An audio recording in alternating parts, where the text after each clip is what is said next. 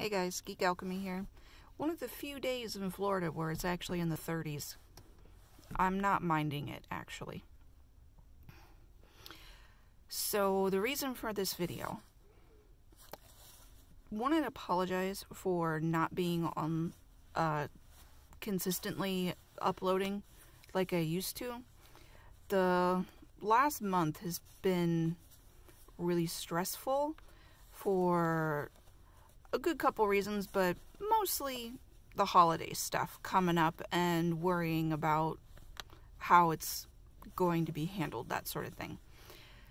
So, I just wanted to apologize for not consistently putting videos up. I will be putting up the rest of my Christmas videos uh, every Saturday, and I'll also start doing a couple Wednesdays here and there to make up for it.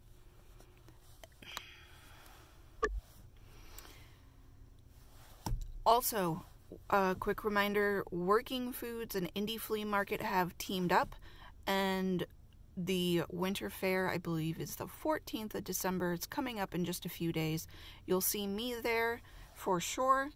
And in February, the Saturday right after Valentine's, I will be at the Love for Life event.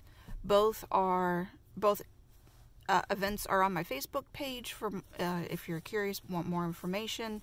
If you're in the Gainesville area, like I said, in a couple days, uh, you'll see me at the Working Food Indie Flea Market event. I hope you guys are going to have a geeky day. I'm going to try myself. I'll see you later.